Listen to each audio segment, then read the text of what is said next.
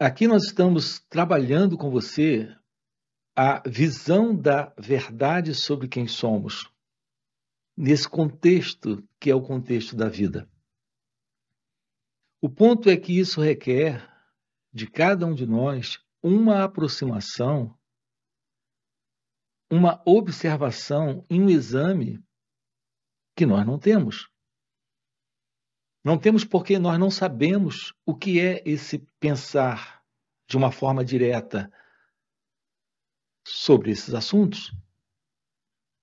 Aqui no canal nós estamos tratando com você de temas que são fundamentais para uma vida realmente feliz, livre, onde há esse perfume ou esta presença do amor.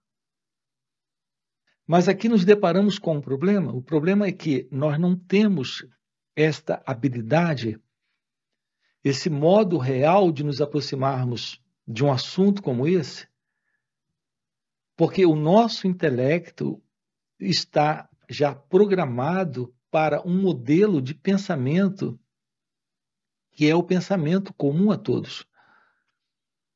É muito curioso quando as pessoas me dizem: o que você diz é muito estranho. Outros dizem: você diz, diz e não fala nada.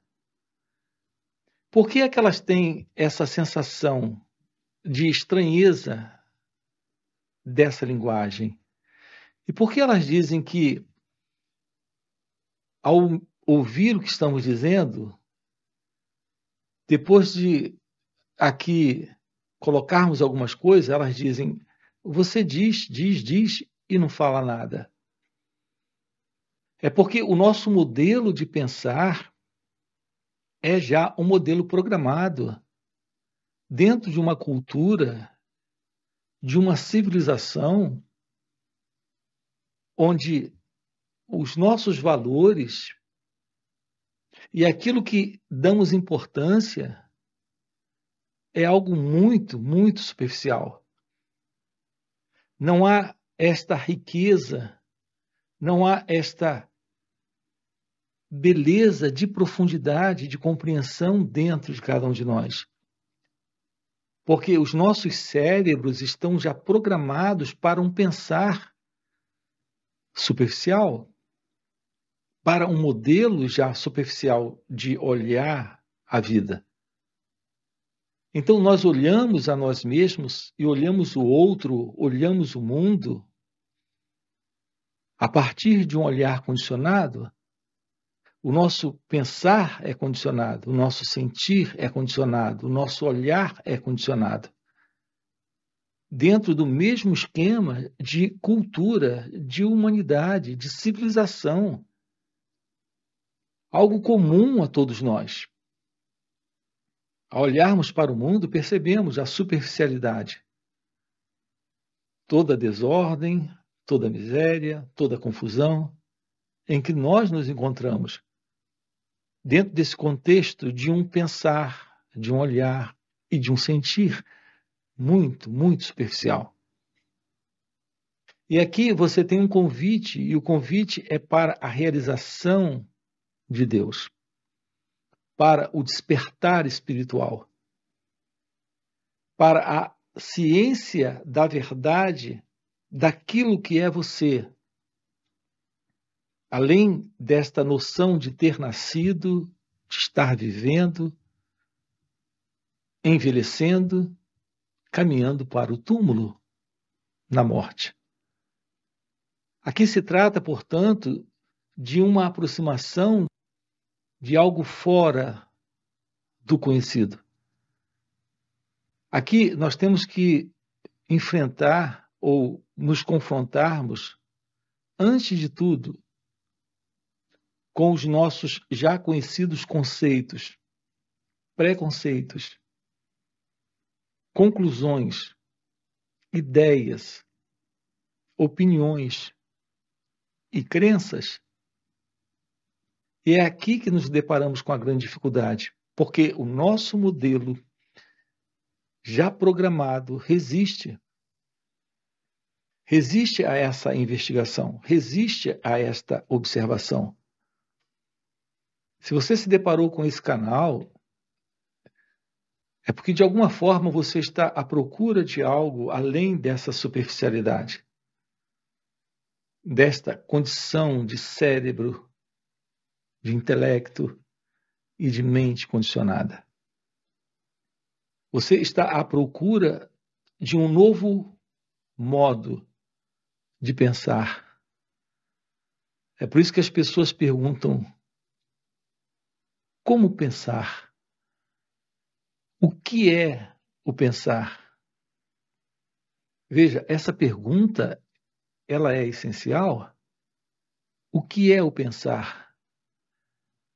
Mas até nisso nós temos fracassado quando perguntamos o que é o pensar ou como pensar, porque a grande maioria, quando faz essa pergunta, como pensar ou o que é o pensar, não é porque elas estão já cientes do condicionamento do modelo de pensamento que elas trazem, de programação de pensar condicionado presente nelas. Quando elas perguntam o que é o pensar, elas querem descobrir uma forma de pensar para ter sucesso, para se tornarem bem-sucedidas e realizadas dentro desse mesmo esquema, dentro desse mesmo princípio de superficialidade no qual a grande maioria está vivendo? Então, para a pergunta como pensar, elas têm o objetivo de aprender a pensar para obterem resultados dentro desse sistema, dentro desse modelo, dentro dessa condição de cultura humana que há milênios está vivendo nesta condição de infelicidade, de miséria, de sofrimento, de conflito, de violência e de medo? Aqui, como pensar e o que é o pensar é essencial. Repare que esse modelo de pensamento que temos é a repetição de uma continuidade de história, de cultura, de humanidade. Todos esses nossos pensamentos, dentro da cultura onde fomos criados, se você foi criado numa cultura judaico-cristã, o seu modelo de pensar religioso é esse. Se você foi criado numa cultura budista, o seu modelo de pensar é budista. Se foi criado numa cultura hinduísta, o seu modelo de pensar também é aquele. Isso se aplica a essa questão da cultura religiosa ou da cultura política ou da cultura social. Nós somos o resultado da cultura onde nascemos, crescemos, nos tornamos adultos. Estamos pensando, estamos sentindo, estamos agindo dentro desta base de cultura. Esta é a programação. Este é o programa que está rodando dentro de cada um de nós. Então, como os computadores, nós também estamos programados para esse modelo de vida, onde o que tem prevalecido é o medo, a inveja, a ganância, a violência, o sofrimento, esse sentido de separação do outro, de separação da vida, de separação de Deus. Então, estamos dentro desse dualismo, desta dualidade, desconhecemos a não dualidade, desconhecemos a não separação Desconhecemos esse sentido de ser, onde não há qualquer separação, o que os sábios na Índia chamam de Advaita, a não dualidade, a não separação entre você e o outro, entre você e a vida, entre você e Deus. Isso está dentro dos Vedas. Mas essa é a visão daquele que realizou a verdade do seu ser. Não há qualquer separação, só há essa realidade divina, que é a realidade de Deus. Então, viver a vida é ser a vida. Algo extraordinário em tudo isso é o fim do sofrimento, é o fim dos problemas, é o fim do medo, é o fim da morte, porque é o fim dessa ilusão de alguém que está vivo, que nasceu um dia, tem um corpo, tem uma história e irá morrer. É o fim dessa ilusão de alguém presente a realidade do seu ser, que é consciência, que é amor, que é felicidade, que é verdade, que é Deus. É a ciência de que aquilo que é seu ser, aquilo que é você, nunca nasceu, portanto não está vivo e irá morrer é a realidade de sua natureza real, que é atemporal, que está além deste sonho de mundo, de vida assim conhecida por todos nós. Adentrar a esse desconhecido é conhecer as profundezas, as grandes riquezas do seu estado de pura consciência, de puro ser, algo que se revela quando há real meditação. Então não há mais esta superficialidade, não há mais esse modelo. Um cérebro novo está presente, uma mente nova está presente, um coração novo está presente. Uma vida real nova está presente. Assim, esse trabalho aqui consiste em explorarmos isso juntos, em adentrarmos por esse mistério da graça, do divino, do desconhecido, do inominável, que é a verdade do seu ser. O despertar da consciência, o despertar espiritual, que é chamado também de iluminação espiritual. É o florescer desta verdade divina.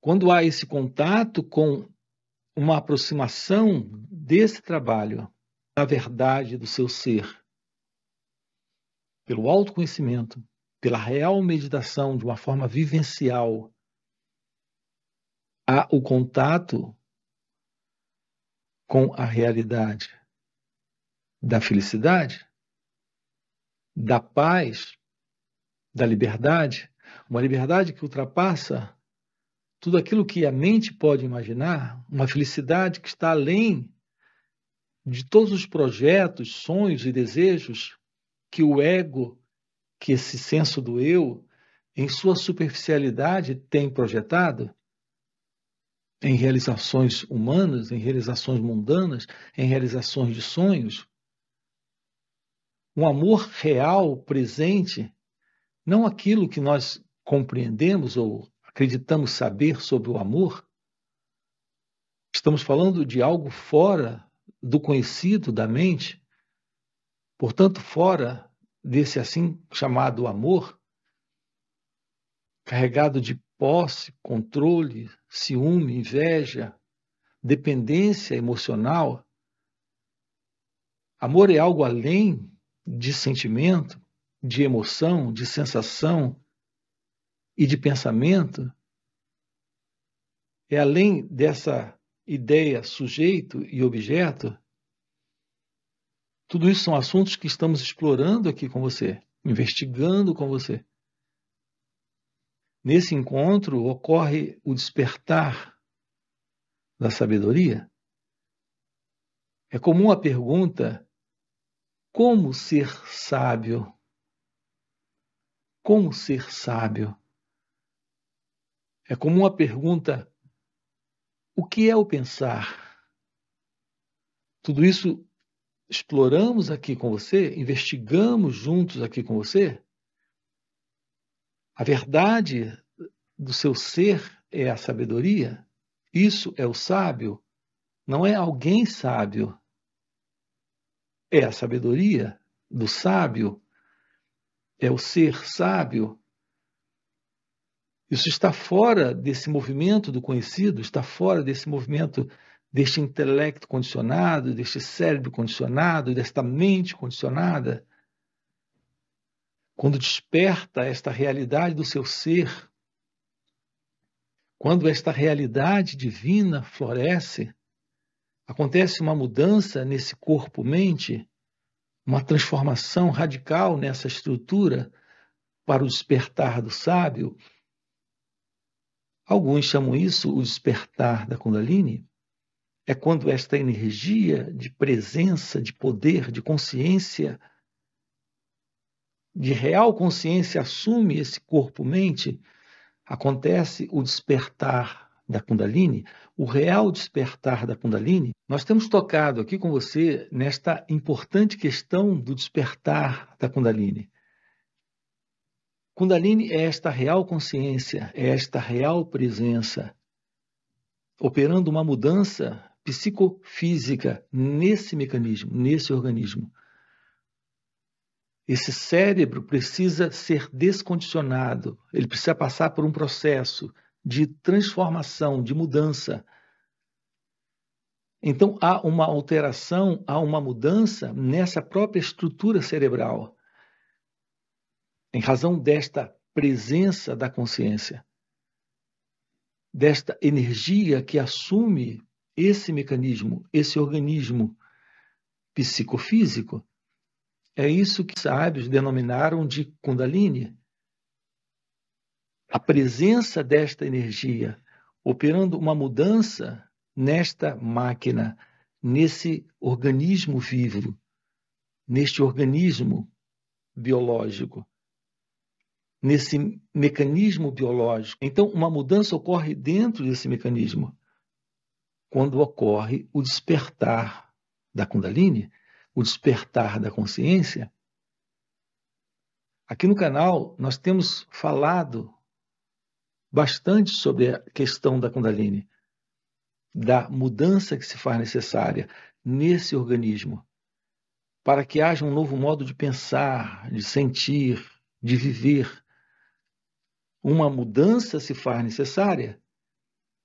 Então, aqui, nesta aproximação, nós estamos trabalhando com você a questão desta radical e profunda mudança que se faz necessário dentro de cada um de nós, neste organismo, neste corpo-mente. Então, uma aproximação da verdade do autoconhecimento e da real meditação é aquilo que torna possível essa mudança. Então, há algo novo presente? Há uma energia nova presente nesse organismo? Nesse corpo-mente? Então, o cérebro funciona de uma forma completamente diferente daquele antigo cérebro condicionado, programado naquele antigo modelo de pensar, sentir e se comportar no mundo? O trabalho aqui consiste em termos uma aproximação de nós mesmos, real, verdadeira, uma aproximação daquilo que somos, nesse instante, aqui e agora. Se isso é algo que faz sentido para você, eu quero lembrar, nós temos encontros online nos finais de semana. Aqui você encontra na descrição do vídeo o nosso link do WhatsApp para participar desses encontros. Temos encontros também presenciais e retiros. Se esse é algo que faz sentido para você, já deixa aí o seu like, se inscreve no canal e coloca aí no comentário, sim, faz sentido. Ok? Valeu pelo encontro e até a próxima. A gente se vê. Os sábios têm chamado isso o despertar da energia do ser, que eles denominaram de Kundalini. Não é uma experiência para o eu, para esse mim,